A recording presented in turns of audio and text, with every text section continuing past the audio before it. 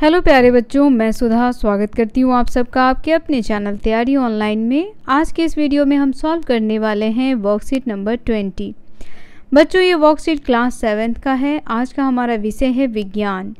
विज्ञान में हम पढ़ने वाले हैं पादपों में पोषण। ये वर्कशीट है तेईस सितंबर 2021 का। बच्चों, हमने पिछले वर्कशीट में पादपों में पोषण पढ़ा था, जिसमें हमने ऐसे पादपों, यानी ऐसे पौधों के बारे में भी पढ़ा था, जो मृत पोषी होते हैं, यानी जो भी सरा गला या मृत चीज़ें होती हैं, उससे वो अपना भोजन प्राप्त करता है, जिसमें हमने ईस्ट के बारे में जाना था। आप लोगों ने भी देखा होगा कि ब्रेड पे जो फफंदी, यानी फंगस लग जाता है, वो फफुंदी या फंगस जो होता है, वह ब्रेड को क्या करता है? ख़राब कर देता है। और ऐसे जो पादप होते हैं, वह नमी में पैदा होते हैं। तो इसके बारे में हमने पिछले वर्कशीट में पढ़ा। चलिए देखते हैं आज क्या दिया गया है। यहाँ देखिए बच्चों, सभी जीवों को खाद्य की आवश्यकता होती है, जिसका उपयोग वे अपनी वृद्धि एवं शरीर के रख रखाव के लिए तथा आवश्यक ऊर्जा प्राप्ति के लिए करते हैं। बिल्कुल सही बात है बच्चों, सभी जीवों को खाद्य की आवश्यकता है। जैसे हम मनुष्यों को भी खाद्य की आवश्यकता है। हम भोजन लेते हैं, जिससे हमें ऊर्जा मिलती है। इस ऊर्जा का प्रयोग हम काम करने में करते हैं और भोजन से ही हमारा ग्रोथ भी होता है। ठीक है बच्चों? उसी प्रकार पेड़ पौधे भी भोजन ग्रहण करते हैं। अब पेड़ पौधे भोजन कैसे ग्रहण करते हैं? तो देखिए, वह मिट्टी से लेते हैं पानी और नाइट्रोजन। और जितने भी खनिज तत्व होता है, वह सभी। वह रूट के माध्यम से इन सभी चीज़ों को ग्रहण करते हैं। पौधे भोजन भी तैयार करते हैं। अब वह अपना भोजन कैसे तैयार करते हैं तो ये आप सभी जानते हैं।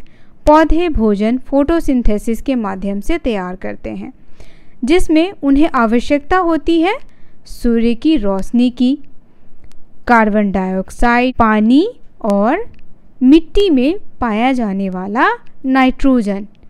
इन सभी से वह क्या करता है? अपना भोजन तैयार करता है। आगे कहा जा रहा है, हरे पादप, प्रकाश संश्लेषण प्रक्रम द्वारा अपना खाद्य स्वयं संश्लेषित करते हैं। इंग्लिश में प्रकाश संश्लेषण को ही बच्चों कहा जाता है, फोटोसिंथेसिस, जिसमें पौधे अपना भोजन बनाते हैं। भोजन बनाने में उन्हें किन किन चीज़ों की आवश्यकता होती है, ये तो आप जान ही गए हैं। सूर्य की रोशनी की आवश्यकता होती है, कार्बन डाइऑक्साइड की आवश्यकता होती है, जल एवं खनिज की आवश्यकता होती है। ठीक है बच्चों? अब देखिए, प्रकाश संश्लेषण के लिए क्लोरोफिल, कार्बन डाइऑक्साइड, जल एवं सूर्य का प्रकाश अनिवार्य होता है। कार्बोहाइड्रेट जैसे जटिल रासायनिक पदार्थ प्रकाश संश्लेषण के उत्पादक हैं। यह आपको ध्यान रखना है, प्रकाश संश्लेषण का उत्पादक कौन है? तो कार्बोहाइड्रेट जैसे जटिल रासायनिक पदार्थ। प्रकाश संश्लेषण के प्रक्रम में क्लोरोफिल की सहायता से पत्तियों द्वारा सौर ऊर्जा का संचयन किया जाता है। किसके द्वारा किया जाता है बच्चों? तो हरे पत्तियों में पाया जाता है क्लोरोफिल। और यही क्या करता है? सूर्य के प्रकाश को संचित करता है। पौधे को भोजन बनाने में सहायता करता है। प्रकाश संश्लेषण में उत्पादित ऑक्सीजन का उपयोग सभी जीवों द्वारा उनकी उत्तरजीविता के लिए किया जाता है। हम सांस में लेते क्या है? ऑक्सीजन। और ये ऑक्सीजन कहाँ से आता है? तो पेड़ पौधे देते हैं। पेड़ पौधे लेते क्या हैं? तो बच्चों पेड़ पौधे कार्बन डाइऑक्साइड लेते हैं और ऑक्सीजन हमें देते हैं और हम इस ऑक्सीजन को ग्रहण करते हैं और जीवित रहते हैं। ठीक है बच्चों, क्योंकि बिना सांस लिए हम जी नहीं सकते। आगे कहा जा रहा है, कवक अपना पोषण मृत एवं अपघटित जैव पदार्थों से प्राप्त करते हैं। कौन करता है? तो कवक। इसके बारे में पिछले वर्कशीट में भी हमने पढ़ा था।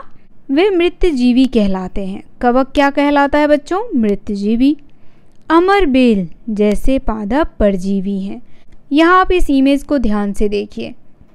इस पेड़ के ऊपर पूरी तरह से अमर बेल का जो पौधा है, वह लतरा हुआ है। अमर बेल ऐसा पौधा होता है कि वह किसी भी पेड़ के पूरे ऊपरी परत को ढक देता है। यहाँ यही कहा जा रहा है कि अमर बेल किस प्रकार का पौधा है? अमर बेल जो है, वह परजीवी है। यानी दूसरे पौधे की मदद से वह अपना भोजन लेता है। वे परपोषी पादप से अपना भोजन प्राप्त करता है। जो बात मैंने अभी कहा कि वह जिस पौधे के ऊपर रहता है, उसी पौधे से अपना भोजन प्राप्त करता है। पौधा कह लीजिए या पेड़ कह लीजिए। कुछ पादप एवं अन्य सभी जीव अपने पोषण हेतु दूसरे जीवों पर निर्भर रहते हैं। जैसे छत्रक। अब बच्चों, यहाँ इस इमेज में आप देख रहे होंगे, ये क्या है? छत्रक है। ठीक है? और ये क्या है? यह एक मृत जीवी है। यह अपघटित या सरे गले पदार्थों से अपना भोजन लेता है। तो इसे भी हम कहते हैं मृतजीवी। छत्रक या आप कह सकते हैं मशरूम मशरूम भी मृत जीवी ही होता है और इसे हम विषम पोषी भी कहते हैं। ठीक है? तो मुझे आशा है कि यहाँ तक आप अच्छे से समझ गए होंगे। आगे इससे संबंधित प्रश्नों को देखते हैं। पहला प्रश्न हमारा है, अमर बेल उदाहरण है। तो बच्चों, अभी हमने पढ़ा अमरवेल किसका उदाहरण है? यहाँ देखिए अमरवेल जो है, वह परजीवी पादप का उदाहरण है। ठीक है? तो यहाँ पे आप परजीवी लिख सकते हैं। या परपोषी भी लिख सकते हैं, क्योंकि वह अपना पोषण किसी और पौधे से प्राप्त करता है। दूसरा प्रश्न हमारा है, बच्चों, प्रकाश संश्लेषण के लिए क्या आवश्यक है? तो हम सभी जानते हैं, प्रकाश संश्लेषण के लिए आवश्यक होता है सूर्य का ऊर्जा, जल, कार्बन डाइऑक्साइड, क्लोरोफिल तो बच्चों, ये सभी जो है वह प्रकाश संश्लेषण के लिए आवश्यक है। तीसरा प्रश्न हमारा है, प्रकाश संश्लेषण में डैश उत्पादित होती है। तो बच्चों, प्रकाश संश्लेषण में ऑक्सीजन उत्पादित होती है। ठीक है? आप यहाँ पे फिल करेंगे ऑक्सीजन। तो ये वर्कशीट यहीं समाप्त होता है बच्चों। वर्कशीट आपको कैसा लगा आप हमें कमेंट करके अवश्य बताएँ। वीडियो पसंद आया हो तो इसे लाइक शेयर और हमारे चैनल को सब्सक्राइब कर लें। मिलते हैं आपसे अगले वर्कशीट में। तब तक के लिए आप सभी का धन्यवाद।